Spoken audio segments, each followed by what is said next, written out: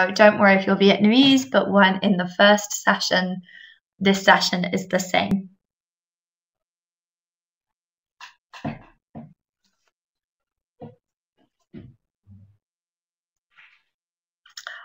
All right, let's get started. So, welcome everyone to the fourth webinar of the series. Today, we'll be talking about how to improve your student participation in your lessons. Uh, so, welcome everyone, wherever you are. Good morning, good afternoon, good evening. Um, so, you are now halfway through your webinar series. So I'm sure you have learned lots of useful information and advice from the last month. And let's get started. So, my name is Bryony. I'm originally from England, but I've been living in Spain for the last five years. I have worked with EF since 2016 I started in Madrid as an English teacher and worked my way up to senior teacher before I was an academic manager this summer in Hastings, which is a town in England. Uh, so I have lots of experience working with both adults and teenagers with EF. I also recently completed my Delta qualification, so have spent a long time researching and experimenting with lots of different parts of English language teaching. And I discovered a lot of new activities which are very useful for increasing the level of participation in your lesson. And some of you may recognize me from your second webinar of the series um, about how to improve your board work. So it's nice that I'm able to do the second one for you and continue giving you some advice. So I want you to answer this question in the chat box. Why do some of your students participate less than others in class? Just want you to write, why do you think that? Good, we've got some answers coming already You can see people are saying they're shy or timid or are afraid to speak English. Some of them are lazy, good idea, or no motivation, good. I can see someone saying they don't like English. Good. There's lots of the edges. Afraid of making mistakes. That's a huge one. And feeling like they'll be judged by their classmates. Excellent. Thank you for sharing those ideas. I've got some ideas which I thought of a lack of interest in the topic. Oh, I've just seen someone wrote hungry. Yes, that can definitely affect your level of participation. We also have no motivation. Maybe the groupings they're in, maybe something to do with their partner or with other classmates shyness or a lack of confidence. And finally, I've written the atmosphere. Perhaps the atmosphere in the classroom makes them less likely to participate in the lesson itself. So these are things which we will talk about today. Um, thank you very much for all your answers because I didn't include afraid of the wrong answer, and that's a very good one to include. So, another question What type of classes typically have lower levels of participation? So, if you want to write that, what type of classes? Mm-hmm. And also, what type of student? I want you to think about ages as well.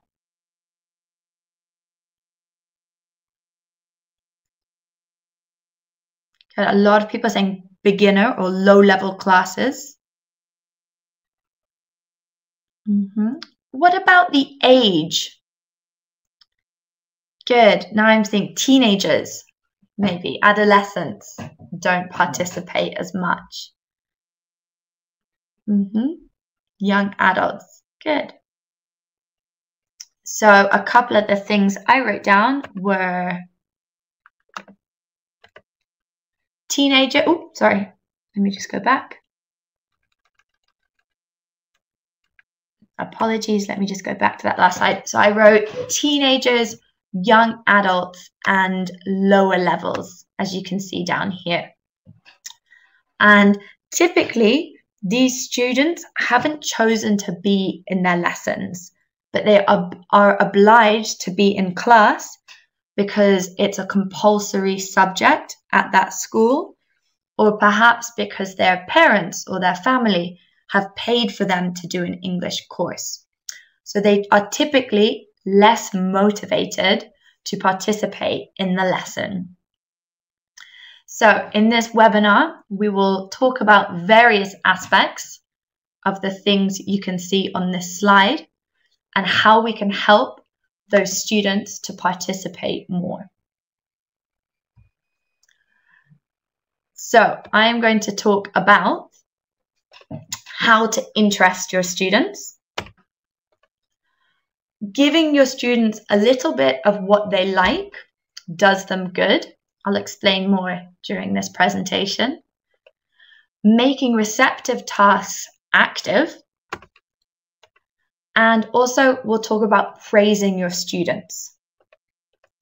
And I'm going to give you lots of activities and ideas you can use in the classroom, which will prompt higher levels of participation.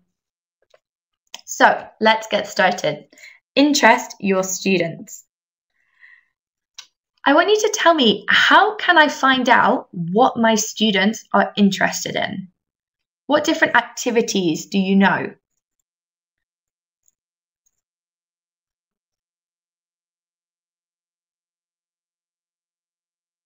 Mm -hmm. Good ideas. T uh, questionnaires, uh, needs analysis, asking them, okay. brainstorming. Mm -hmm.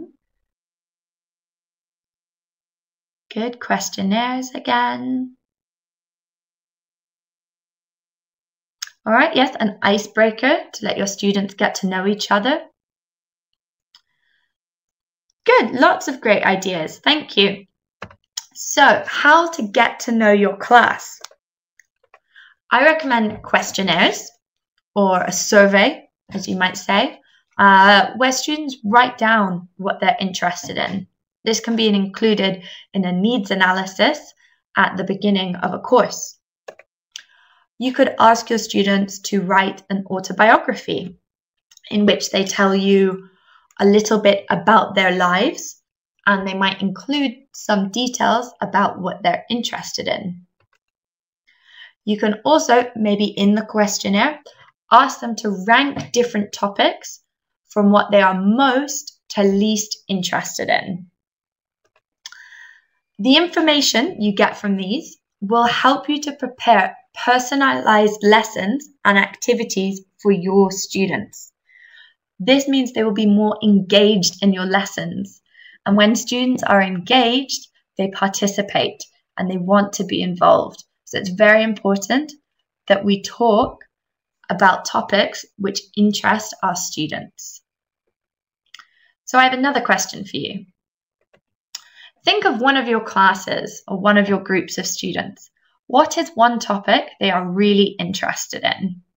For example, one of my evening classes, a group of teenagers, love Harry Potter. They're obsessed with Harry Potter.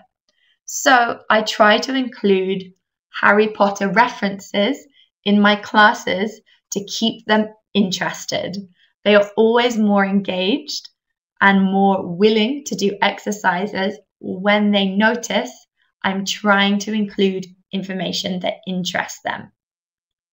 So let's see, what are you writing? What topics? Good, we've got a real mix shopping, civil engineering, computer games, travel. Ah, I see someone else has also got Harry Potter, fashion. Good.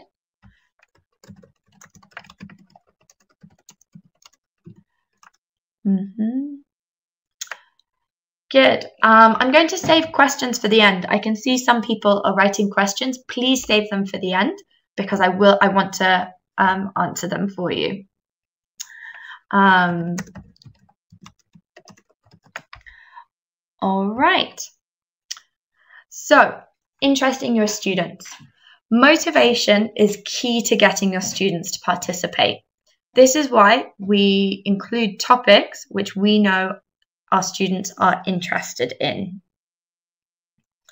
So, I think it's very important to give our students a choice about what to learn. It will motivate them, they will be engaged, and then they will participate in my lesson.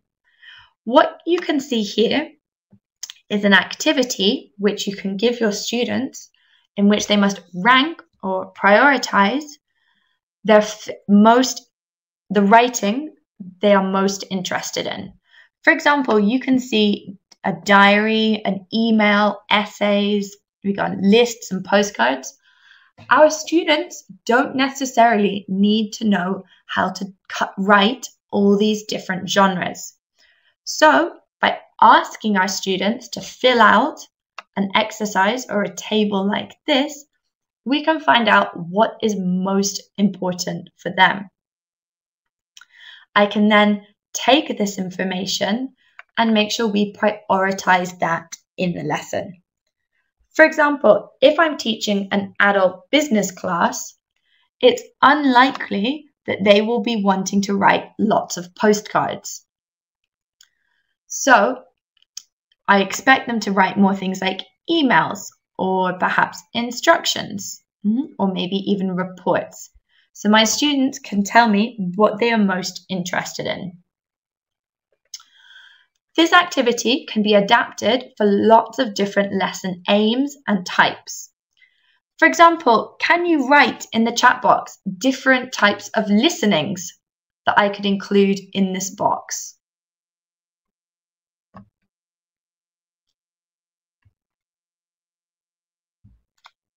Podcasts, good. News reports, some videos as well, songs.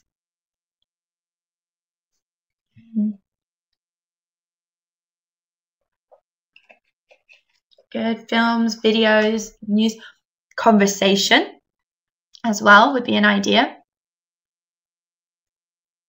Good. And I can also do the same with topics. Students can rank their topics from most to least interested. And I can explain to my students, I'm doing this activity to find out what you like so that we can include it in our lessons. But you can also remind them that as the teacher, there are some topics which you must cover because they are in the book, but you are going to use the information they have given you to tailor the course or personalize the course to what they are most interested in. Now, of course, if you have a big class, this can be more difficult. So it's important to explain to them that you want to make classes which most people, or as many people as possible, are interested in, but students may not be interested in every single topic. This will still engage them because they know that you will cover topics that they are interested in during the course at some point. So, by explaining to your students how you're choosing these different topics, they will notice that you care about how they feel and about what they want. And this again will help create a more comfortable atmosphere. Like we mentioned at the beginning, it will make an atmosphere where the students feel comfortable. All right, let's move on to my next section. A little of what they like does them good. This means doing activities which your students enjoy and which your students like doing. So, as a teacher, it's very important to find out what they like so you can ensure they are enjoying the learning experience, which in turn motivates them and encourages them to participate. So, I want you to think what fun experiences in the classroom are most memorable to you? For example, I remember, oh, sorry, it happened again. There we go, apologies. I remember one class when a teacher was studying the topic of crime and she turned her classroom into a crime scene. Now, all the students enjoyed this class so much because it was interactive. They could imagine themselves in the situation and they participated a lot more than a sort of more traditional style of teaching. So let's see what people are writing. You know your students like role plays or watching under watching films and trying to understand what people are saying. Yes, of course, games. Uh, find someone who story tells. Good. Maybe with business classes, doing presentations. So you all sound like you know your students very well. And this is important so you can include this type of activities which they enjoy most, which will encourage them to participate. Great, I love all these ideas. so, I'm going to give you an example of a couple of creative ideas which you can use in your classroom, which will promote participation. So, the first one is creating a travel agency. In pairs, your students can create a 10 day travel itinerary for a holiday. You can give out different types of holiday, for example, a city holiday or an active holiday, beach holiday, and so on. Students must decorate their desk with different features of a travel agency. As you can see in this photo, they've created a leaflet or a poster and you can actually just see at the bottom, there's also some flowers because the students were, I think, selling a trip to Hawaii or Miami, even. I think I can see in the picture. Once the students have organized their leaflets and their desks and their travel itinerary, you split the class in half.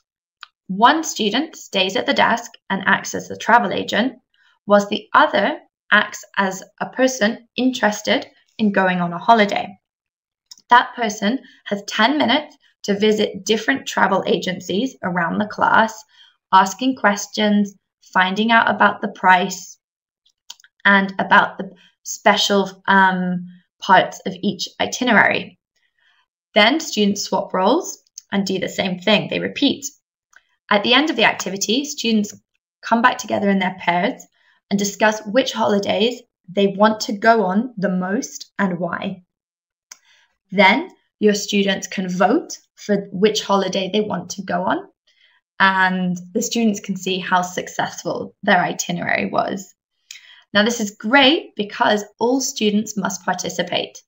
I first in the planning section up here, then when one stays at the desk and the other visits the other travel agencies, and afterwards when they discuss their reasons for what they like. And again, I think someone's written this. Everyone loves the topic of traveling. So it will really engage and create a fun environment in your classroom. Another problem we mentioned at the beginning is sometimes the groupings or the pairings of students doesn't encourage participation. So we need to use mingle activities. This means students can move around and talk to different members of the classroom. In this particular activity, after studying a certain topic or language, um, they write one question related to that topic on a piece of paper. For example, if the topic was the city, they could write, Do you like living in a big city or in a small town? Or if the language focus was superlatives, their question could be what is the fastest animal on the earth? Then students stand up and ask their question to the nearest person. They discuss each other's answers and then swap papers. Then students must go find a new classmate to talk to with their new question. So they don't keep their old question. You can then continue this. You tell everyone you need to swap five times and speak to five people. And this is a great way of students interacting with other members of the class. They may prefer this so that they are not always talking to the person next to them. So it's a great way to get them to mingle. And it also helps uh, because they're not talking about the same question every time. They have a different discussion with each person. So that's a great activity. Also, it takes the pressure off students. They aren't speaking in front of the whole class.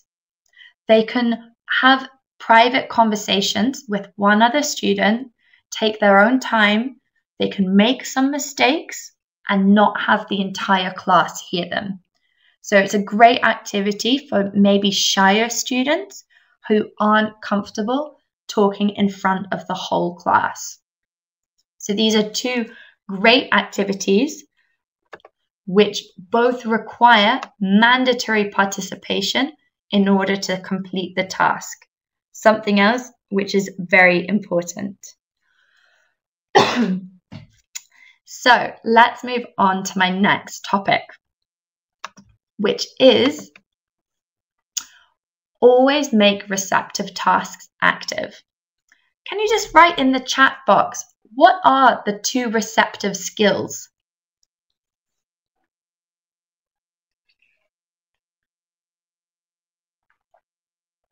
Excellent. We've got people saying reading and listening. That's exactly what I wanted.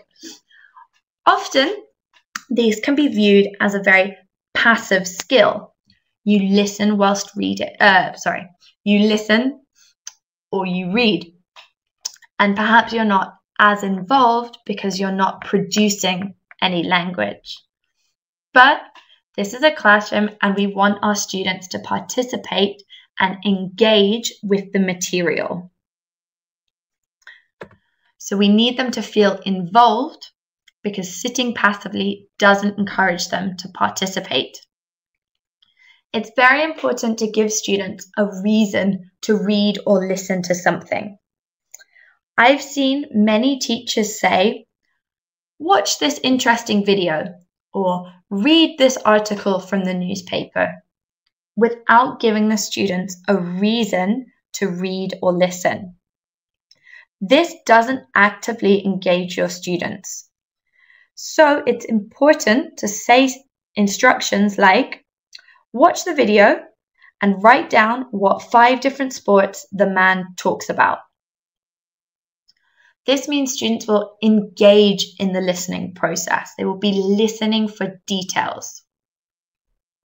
So it's very important to give students a reason to do this. Next, it's also important to generate interest in a topic so that students will actively engage with the topic. For example, Imagine your students are about to read an article about a jewelry robbery in Paris. How can you generate interest? Give me some examples. Good, I can see some pre-listening activities.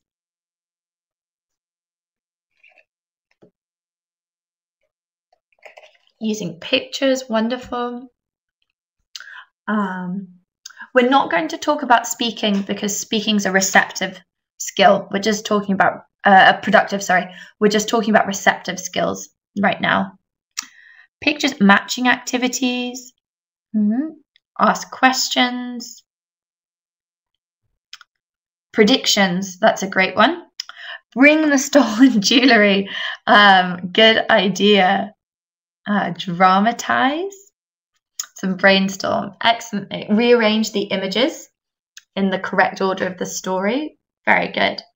So, some of my answers were you could get them to brainstorm what happened, brainstorm potential language that might come up in the listening. Oh, sorry, reading, reading. Apologies, everyone. In the reading, you could use visuals, so students must guess what's happening. They can make predictions from the headline. Or you could bring in realia. This means physical objects that students can generate ideas about the article from, which is exactly what someone suggested. So well done. Bringing in the stolen jewellery. Um, this will generate interest in the topic and it will also help students predict some of the language that will come up in the reading, which helps them to engage with the topic and then later to be able to discuss it. Mm-hmm. And all of these things also increase participation. Students aren't just reading, but they're discussing, they're predicting, and they are interacting with each other. So now I would like to give you some example ideas for reading, which will increase participation in the lesson. My first activity is a jigsaw reading. In a jigsaw reading, students work in groups or pairs, and each student has a different part of the text. They have to share the information which they have read with their group in order to understand the whole story. So, without the information which their partner has, they will not be able to understand. So, again, this provokes mandatory participation because students need to share what information they have read. Another activity is a keyword summary. So again, we're going to divide our text into sections and give each group one section. Students read the text and can write down eight keywords from the text. Then they form new groups, and these new groups have one member from each of the previous groups. They take their eight keywords with them, and then they need to summarize their section of the text to the new group uh, to the new group using their keywords. So, for your students who don't feel as confident in English or maybe are a bit shyer, they have those eight words to support them when they're doing their summary. It can really help your students if they have just a few ideas to take with them so that the next step isn't as overwhelming um, as it would be without those keywords. You can then follow up this activity with a comprehension exercise in which the students must collaborate on to complete because each of them knows their section the best. So they must collaborate with each other to answer all the questions. And the third activity I have is called What Did I Change? So imagine your students have just read a text. In pairs, they choose one part of the text they've just read and copy it down onto a piece of paper. But they change one piece of information. For example, if you read these two sentences, as she turned the corner, she heard the faint howl of a dog. Or number two, as she turned the corner, she heard the loud howl of a dog. Can everyone please tell me what the difference in this sentence is?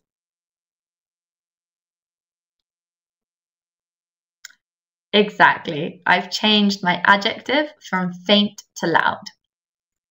So students would then leave these pieces of paper on their desk and as a pair, they circulate the room and read the other pieces of paper on their classmates' desks. And when they're reading, they need to work out how each sentence has been changed. Now remember, students are choosing one part or one phrase from the text they've read. The likelihood is that all the pairs will choose a different section or they will choose a different part of the sentence to change. For example, instead of changing the adjective, maybe they could have changed the verb or even the animal at the end of it. So it's a good activity because students participate and interact with each other at the beginning. They're interacting with the text again, and then they have to figure out how each section has changed. It's a great activity which involves different types of participation. So those are my reading ideas. Now let's look at my listening ideas. The first activity, listen and describe. In this activity, the teacher tells a story, but stops regularly and asks the students to write or give a description of what she he or she has just said.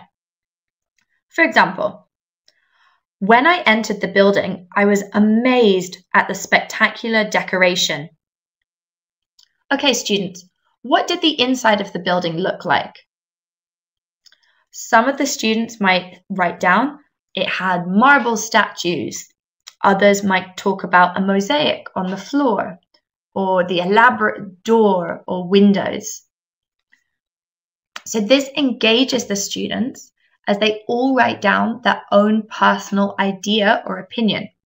Or if you don't want them to write it, you can elicit or brainstorm different ideas. So it's a great way to get students participating while they listen to you tell a story. Another activity, an information transfer activity. In this one, students must complete a drawing, a table, or a diagram based on the information they hear. For example, you could give your students a blank diary page which they must fill in with their partner's schedule. Students take it in turn asking each other questions about their week. So maybe you're practicing either vocabulary for activities, or maybe you're practicing times of the day. Um, and at the end, once it's finished, you can compare people's schedules in the class. So it's a great way to participate and practice another skill whilst also practicing the listening skill. So you're actively listening and engaged. My final activity uh, for listening is a hidden picture. In this activity, you split your class in half and give one half a photo of a house, for example. But each photo is different. You might have a bigger house, a smaller house, one with more windows, different colors, a garden, a car in front of it. So different photos. These students describe their photo to a partner, and the partner must take notes. Once they're finished, the teacher takes all the photos and puts them on the board or on the wall, and the students who wrote the notes must go look at the different pictures and match their notes to the pictures. So, again, actively engaging them in the listening skill. They cannot just listen passively and not take in the ideas. They need to write things down. They need to remember. They need to understand. All of these help to increase participation. Oops, sorry, I'll just there. Um, because students must respond to what they've listened to. So, in a little summary of this section, remember to make your receptive tasks active. During these activities, students have no choice. They must participate in order to complete the tasks. This means everyone, not only the students who are stronger or more confident. But as you have seen, not all of the activities make students answer questions in front of the whole class. So you need to decide which ones your students will like or respond well to. So moving on to my next section. Oh, and there's my book and my listening. My next section is about praise.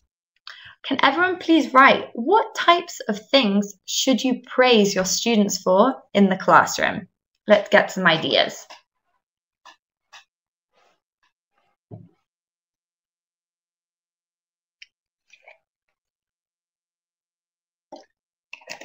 Great, loads of ideas. So for trying, improvement, for their marks, project work, mm -hmm, the things they've just learned, Mm-hmm. Smiles, great. It's always good to encourage positive learning behaviors. Good for being active. So that's what we're talking about today participation. So make sure you praise participation as well as achievement. It's very easy just to notice good use of language and praising achievement. But as we said at the beginning, get to know your class, get to know your students individually. Which students are shyer normally, but today are making an effort and are participating more than normal? Which one of your passive teenagers is making an effort today because they're engaged with what you're teaching? And praise them. But how do we praise? I've got some different things. Um, oh, uh, well, actually, first, let's answer this question. How would you feel if you were a shy student and only the highest level students in your class received praise? How would you feel?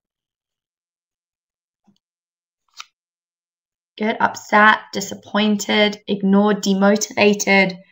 Exactly. You would feel like you weren't as good as the other students. And if you feel demotivated or upset or having no confidence, do you think you will be motivated to participate in the lesson? No, good. Lots of no's coming through.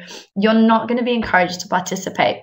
So, we as the teachers in the classroom are responsible for creating an atmosphere and an environment in which our students do feel comfortable and like their points and their opinions are just as valued as the students who have higher levels in the class.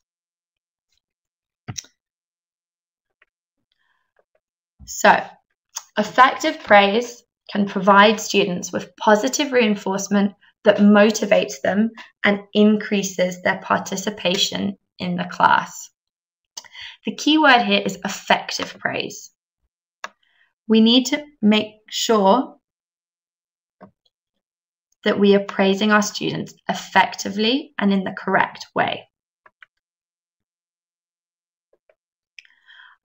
And an important aspect of this is targeting genuine effort and achievement.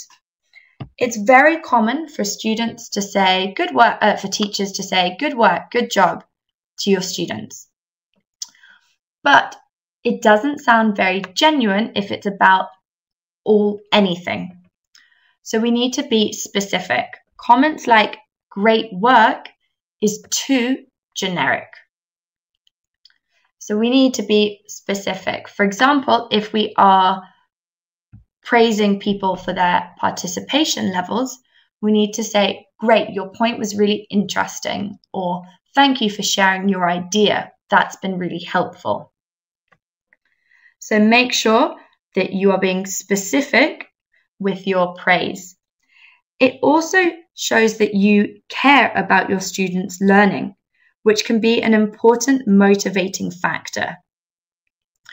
If you say, good job, good job, it doesn't sound truthful, or maybe it sounds like you are exaggerating all the time. It's not as meaningful if you repeat it a lot. So make sure you're being, you're targeting genuine achievement and effort and also authentically. So there we go. We've got some information about praise there. So I would like to reca recap what I have talked about in this webinar. Can you tell me, how can I improve my student participation?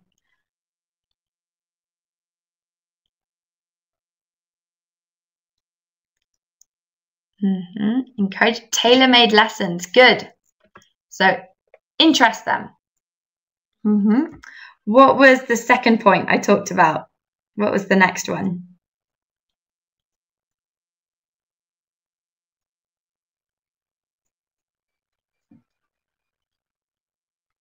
Mm-hmm. Good. Engaging activities. Good. Be creative. So a little of what your students like does them good. It encourages them to participate. What did I talk about next?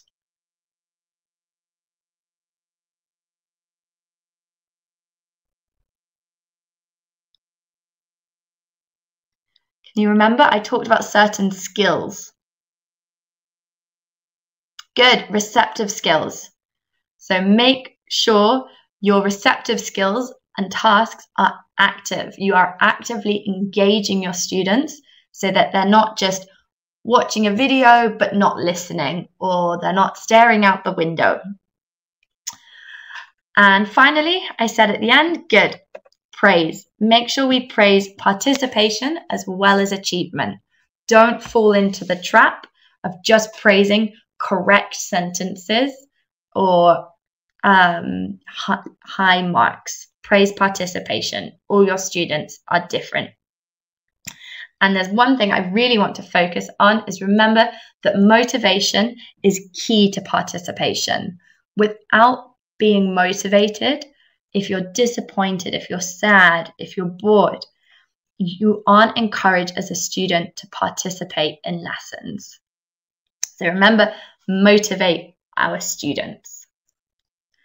All right, I'm now going to give you an opportunity to ask me any questions that you've had during this webinar. So we're going to do 10 minutes of questions, but please stay in the room because at the end, I'm going to display a question which you need to answer to prove your attendance to this webinar. So please, can you write your question and I will do my best to answer as many as I can. And we've got 10 minutes saved. Good. What about big classes? This is a good question because, yes, it's more difficult to get your students to, for example, mingle because they are crowded. I think you can still do mingling activities, but you need to set up your activities very clearly. You need to tell your students, perhaps if there's not enough space to move around, you could get them to sit in a circle um, in certain groups and that they talk to people in those circles. Then you, as the teacher, can monitor these different circles and you don't have students running around the entire class. Another idea, if you've got a big class to get them to participate, is to do like a speed dating line where you've got one line of students moving in one direction and the other in another direction so that again you don't have students moving everywhere you can have them standing up or sitting down um, but they still have that opportunity to participate mm-hmm. what other questions what can I do when my students don't like English? This is when questionnaires and needs analyses are not only for the beginning of a course. You can do questionnaires and surveys at any point during a course. So, to motivate students who don't like learning English, find out what topics they like in their personal life. Do they like sports? Do they like culture? And engage with them about those those topics to help motivate them for their learning. And explain to them, as the teacher, you want to interest them and pick topics that they like, but that they also need to engage with the lesson in order to improve.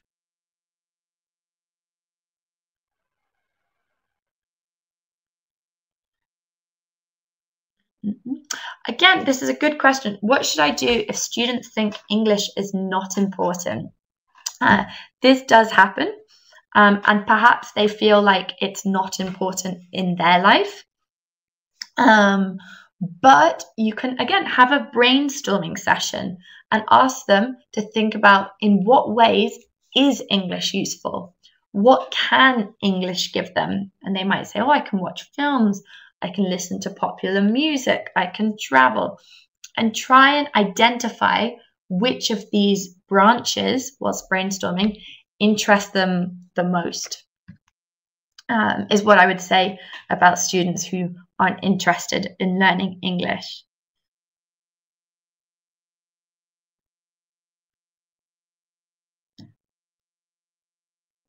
Hmm. All right. How,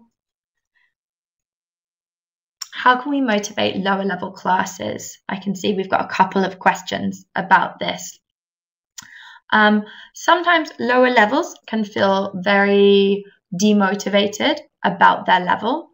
So, in this one, it's very important to create that atmosphere in which students feel comfortable. Um, so, being careful about your own language level as the teacher, make sure you don't speak too quickly or in too complicated a manner.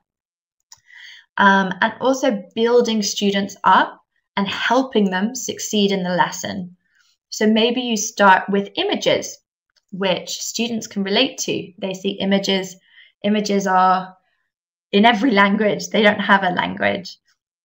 So they students can engage with those pictures first. It can be more visual. And then maybe you can brainstorm vocabulary. And so that you're slowly building those activities up as they become more complex during the lesson.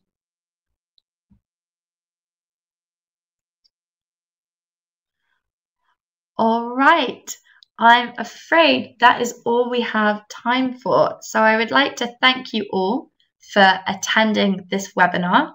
I hope you have got some useful advice and activities from it. Um, I recommend trying some of them in your lessons this week. Before you leave, in order to prove your attendance, you need to click on this link here. Here's the link and answer this question below. What is key to participation? Is it the type of skill being worked in the class? Is it the level of your students? Or is it motivation? Uh, so please don't answer here. Click the link and write your answer the, there so that you can get your final certificate at the end of the series. So please don't answer in the chat. You need to click the link in order to answer the question. So thank you very much, everyone, for attending this webinar and best of luck with the rest of your course. Thank you. Bye.